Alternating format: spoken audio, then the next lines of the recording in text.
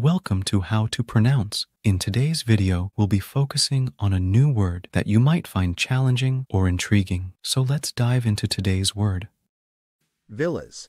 which means Country houses or estates, often luxurious, with accompanying grounds. let's say it all together. Villas. Villas. Villas. One more time. Villas. Villas.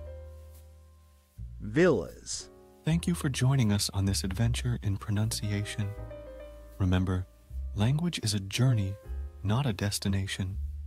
Keep exploring, experimenting, and expanding your linguistic horizons. We'll see you next time.